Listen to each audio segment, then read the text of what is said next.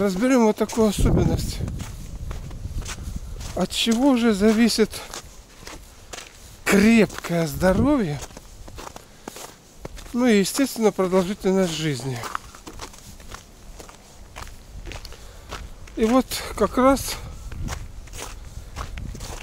наш разговор последний, вот эти все я отвечаю, причины, следствия, последствия и выход из них, будем говорить, подталкивают к разбору вот этого феномена здоровья, либо его отсутствия, долгой жизни, либо короткая жизнь. Что ж там, что ж там основа? Вот. Все мы так видим питание, все мы видим там э, человек занимается.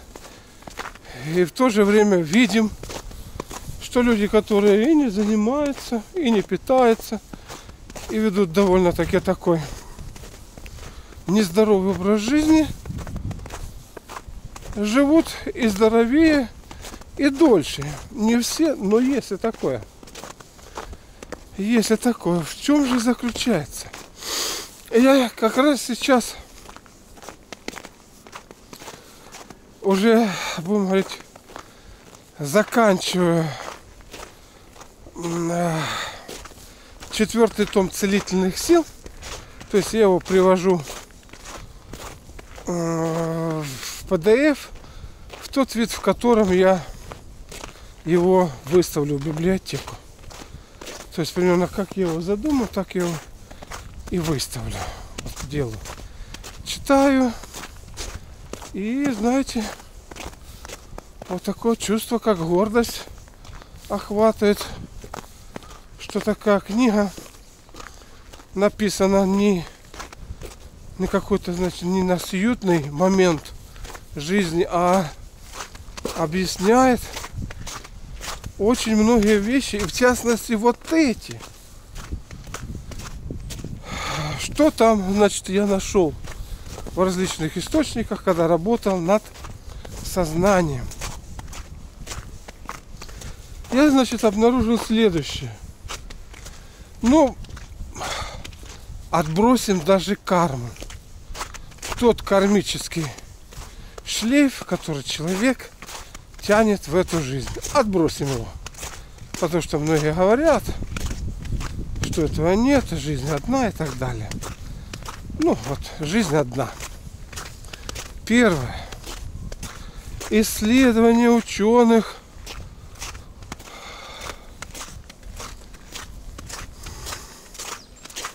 показывают, что уже во время зачатия последующей беременности, в зависимости от того, какая обстановка окружала мать, в зависимости от того, что она испытывала, как переживала, более того, исследование есть, а собиралась ли она сделать аборт, прервать беременность или нет, вот этот период девятимесячный.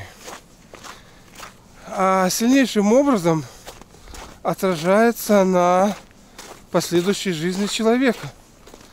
Значит, были проведены исследования, которые показали, что если э, мать хотела прервать беременность, то в последующей жизни – эта угроза отразилась на человеке, на его сознании, на его чертах характера и поведения так, что он стал агрессивным. То есть на любую угрозу он уже может не адекватно реагировать. Он реагирует слишком бурно. Потому что он даже не понимает движущие причин того, почему он это делает. А это все идет оттуда. Далее. Начинается после рождения детский период жизни. И опять-таки, тут. А, что за родители вам попались? Как они к вам относятся? там, насколько они воспитывают вас, что-то там влаживают, или же вот типа, как я рассказывал про Иосифа Сталина, недовольный жизнью, считает, что жена нагуляла ребенка, что он не его, постоянные скандалы, драки, избиения. Естественно, обиды. Вот. Говорят, что Сталин где-то лет в 9 э, после очередной драки, там избиения, что-то матери, такой вот, кинул в отца нож. Вот такое, то есть доводит людей до такого. Естественно, это все так же оседает. Оседает в виде своеобразного мусора. Генетика это называют энграммами. Ну, кто там э, из, так сказать, ученых э, гораст на что назвать это так, это сяк, это по-гречески, это по-латыни, это там еще там как-нибудь. Я просто это все называю мусор, который начинает искажать отлаженную работу в полевой форме жизни. Полевая форма жизни, мое понятие, это сумма полей информационно-аналитических, которые, по которой строится физическое тело и по которому оно управляется и работает. Если там имеются такие изменения, то вот заполучите такую вот вещь. Ну, например, так сразу, сразу скажу, допустим, испух. Испух. И возьмем так известную личность Майкл Джексон. Испух у него был, когда он снимался в рекламе, там пепсиколы. И у него загорелась шевелюра от э, осветительного прибора. Этот даже ролик есть в интернете, как обезумевший. Майкл бежит, а вот это все грива у него горит. Вот как, как сказалось бы, ну что ты такое, ну, ну отгорело, там она ж не, не убила тебя, ничего не сделала. Вот, но вот этот страх – так перетряхнул вот эту полевую форму жизни и оставил свои следы. То есть она стала неправильно работать, как бы сказать, вроде как по мелочи, а именно возникли белые пятна, которые называются витилиго. Да? Вот как бы сказать, что это. Ну, я со своей стороны хочу сказать другое. У меня тоже твитилига. Вот, и первый раз она возникла от того, что меня машина сбила в 7 лет. Но бабушка одна вылила мне из пух. Очень интересная методика. Опа! И они прошли. Как только они прошли в 9 лет – Идя ночью в полусонном состоянии, я пугаю свою бабушку. Хопа! Так я перетрухнул, как сказать. Просто что-то черное поднялось. То есть она с кровати поднялась, спросила, это ты, Ена? Вот, это, этого было мне достаточно для того, чтобы я вот этого нечто черного испугался, заорал, и она возникла вновь. И до сих пор благополучно со мною. То есть, видите, и вот это вот лечение, там какое-то там мажем и так далее, тому подобное, все это ерунда. Надо вот это вынуть. И вот когда выливали испух, сейчас я прекрасно это все так осознаю, что там, как там делалось, произошло сильнейшее расслабление. И, более того, и связывание этой энергетики – которая где-то находится вверху головы. Потому что она осаждается на, на воск. И это исчезло. Вот что надо сделать. То есть устранить, вытянуть. Ну, я так по древу немножечко это сама растекаюсь, дабы, так сказать, лучший материал усвоился. Далее, юность наступает. Пора любви. Я хочу любить. Жить уже, так сказать, женилки выросли у нас, у всех. Уже в 14-16, а тем более 18 лет уже все. То есть человек, как, как э, половозрелая особь, он уже созрел для этого. Но это делать там нельзя. Запрет. Ну ладно, это, так сказать, оставим запрет, что любить нельзя. Это уже формирует некоторые, так сказать, зажимы внутри нашей полевой формы жизни. Далее мы любим. А кто-то нас не любит, особенно в юности.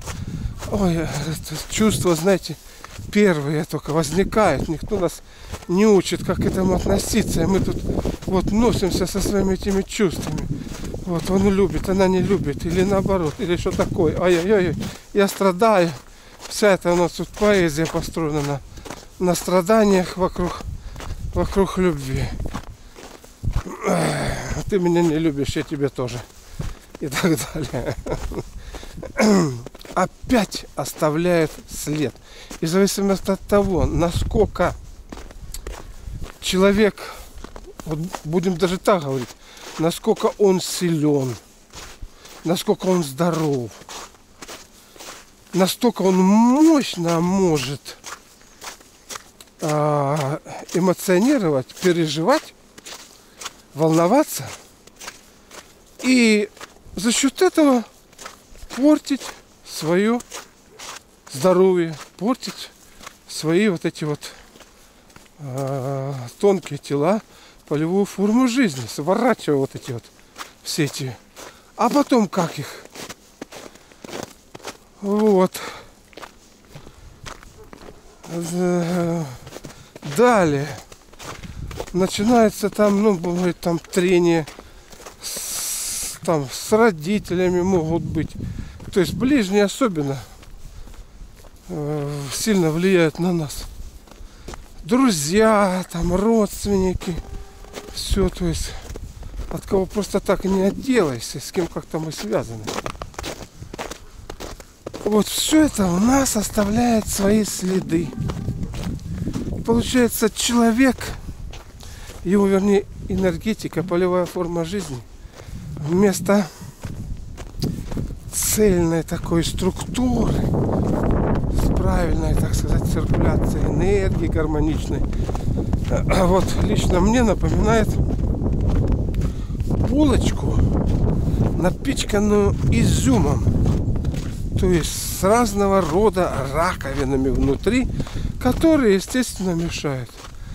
То есть раковина стоит, грубо говоря, в районе там сердца, печени, почек или еще там каких-то других этих районах. И уже эта часть организма управляется не общим полем, а она управляется вот этой вот болезнетворной энергией пережитого следа. То есть вот эту эмоцию, пережитое настроение и, и прочее, прочее, прочее. Все это, значит, отрывается. То есть образуется у нас внутри полость, которая управляется совершенно иначе, нежели общий организм. И у кого вот этих полостей намного больше, тот, естественно, имеет хилое здоровье и меньшую продолжительность жизни. То есть вот где собака зарыта. Понимаете? Далее зрелый период жизни. Ага, работа, там творчество, самореализация. Ага, я там хочу музыку, допустим, сочинять. А у меня там, допустим, семья уже, двое деток. Их надо кормить. Пока я там научусь музыку сочинять или еще что-то делать. А, есть-то нечего. И супруга на тебя будет смотреть, ё-моё, где ты? Что ты, как ты тут это самое? Нафига ты тут семью образовал, чтобы чтобы начать заниматься там музыка или еще что тебе по душе. Или вот там путешествие там уйти, а вы тут как, как это самое. Как будете, так будете. То есть уже, смотрите, разлад в семье, какие-то проблемы в семье, какие-то заботы о детях, какие-то заботы о престарелых родителях тоже сказываются. Вот не зря говорят, грузом ложатся на плечи. И вот если человек этот груз, ну будем говорить, несет без радости, то есть, да, надо, он все это как-то решает, эти проблемы, все. То есть для него это не проблема, просто-напросто э, жизненная ситуация э, естественная. А для другого это проблемы. Вот как решать, что делать, как делать. Ой-ой-ой-ой-ой-ой. Опять-таки из моей практики приходит случай просто потрясающий. Ну вот расскажу этот случай. Так как я, вы видели, увлекаюсь видео-фототехникой, я частенько бывал на ВДНХ, где и покупал. И меня там нашел Максим. Он сам, так сказать, знал меня, ну, по книгам там, по телевидению уже, значит. Вот, и, как бы сказать, мы с ним задружили на этой теме. Он мне там со скидочкой продавал видео фототехнику. Вот, и я узнал его историю. Историю. Парень, вот такого роста, как я, то даже чуть повыше. Чернявый, знаете, из-под Львова украинец такой вот, крепкий, видный, ну, все, знаете, вот он при нем. Что случилось? Значит, там он что-то там окончил там школу милиции, все, карьерный рост, обеспечен там. И мама там у него там, и, и, и, и, и дяди, и все, значит. Нормально. Вот женился, хоп, а жена загуляла. То есть от такого красавца, что там они не поладили, это другое дело.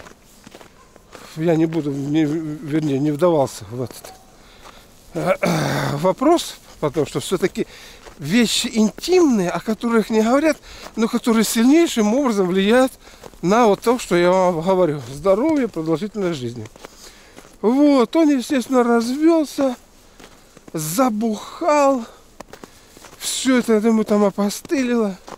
И он приезжает к дядьке в Москву. То есть у человека создалось впечатление, как, знаете, вот ему наставили рога, он там какой-то неполноценный. Э, при встрече с ним э, он, возможно, даже ты не думает, а э, у него в голове мерещится это так мои предположения, что ты рогатый, что вот там тебе это жена, или там еще дурные вопросы, там, а что ты там развелся, что там, как там, знаете, хихиканье за спиной и так далее и тому подобное.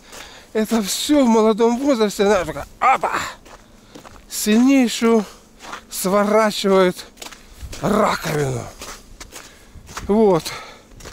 И, и не понимаю, как из этого выйти, а просто, ну и хрен с ним, это просто не твой человек. Развелся, да и все, да дальше живи там или там это. Короче, он переехал сюда. Женился. Значит, мальчик у него. Потом родилась у него и там девочка. Все, значит, ну вот. Вот это, это понимаете, вот эта вот эта раковина, она не давала ему жить. Вот вроде бы ничего этого нет, все нормально. А он не может. Короче, бухал, добухался до того, что схватило его сердце. И вот это его остановило. Остановило, потому что он понял, что может помереть, видать, хорошенько все это его прижала. А лет-то ему 38, ё-моё. Ты, по-моему, сороковника не было. 38 лет. Ну ладно. И перестал, значит, выпивать. Все вроде нормально. Даже начал там гонять с Королева на ВДНХ на работу, значит, на этом самом. На велике. Ну, там спортом заниматься, все там такое, все. Все хорошо. Но, знаете, вот вообще не чувствовалось там какая-то, знаете, жесткость. Вот так вроде все нормально, нормально, а потом что-то такое. Это такая раз, что как бы тебя отталкивает от этого человека. Ага. И потом он мне однажды говорит, пришел, значит, мэром Собянин. А он, значит, очень успешно торговал с этим. Ну, вот, знаете, у человека есть дар торговать. Клиентура наработанная. Все, значит, это такой дар. Значит, что Собянин собирается закрыть все это дело, реставрировать. А я вот взял кредит. И несмотря на то, что у меня такая история кредитная хорошая. Вот я купил машину, которая мне нравилась там. Infiniti FX 35 там. Вот. А говорит, а теперь она мне не нравится. Вот, вот. Надо вот этот кредит отдавать. Вот как-то я не знаю, что там, что там, как там. Вот. Вот это такое он мне сказал высказал такое вот я. Ну, ну что, что? Что тут? Как бы сказать, посоветовать. Ага. И я вообще познакомился с, с его там тещей, с его там мамой. Мы встречались там, ну, там обедали. Вот я уехал через какое-то время Звонит его мать и говорит, а Максик во сне умер. То есть вот в этих заботах, в этих всех вещах он настолько себя молодого, сильного заубил. Не отнесся к тем событиям, как к урокам. Ну да, урок такой, ну, то, ну все, ну пятое, ну десятое, понимаете. Он себя вот вот вот нашпиговал и умер во сне. Ничем не болел.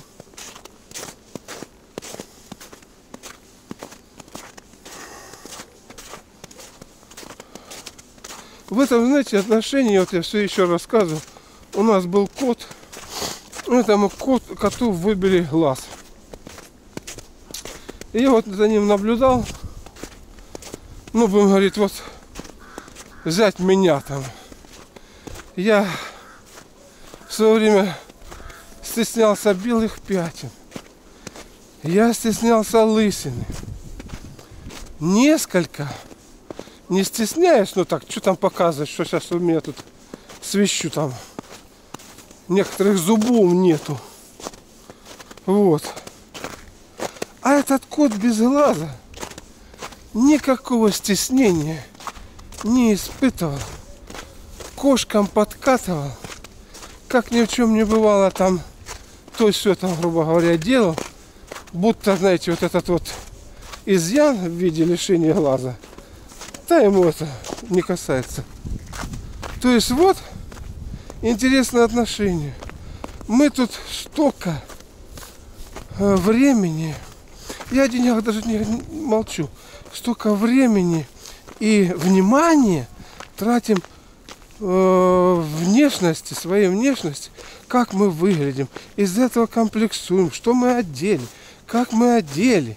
Все это там у нас вот это вот, будем говорить, опять-таки свои эти раковины дает в полевой форме жизни –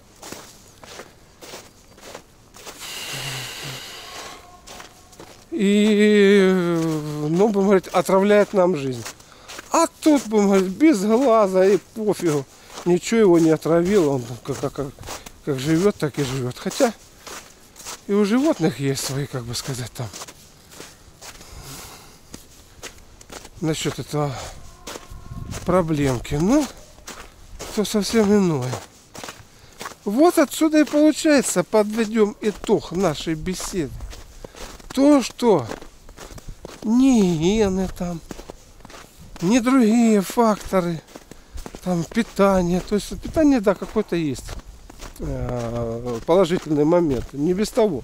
Но больше всего, больше всего, вот я еще и подчеркиваю, важно правильно относиться к фактам и их толковать. Верно. Вот. Что больший вклад в наше здоровье и в наше э, продолжительность жизни э, вкладывают это наше эмоциональное спокойствие. Все долгожители кто?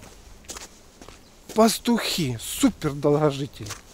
Те, которые прожили там, грубо говоря, от 140 лет до 160, пастухи, ни одного там горожанина там нету.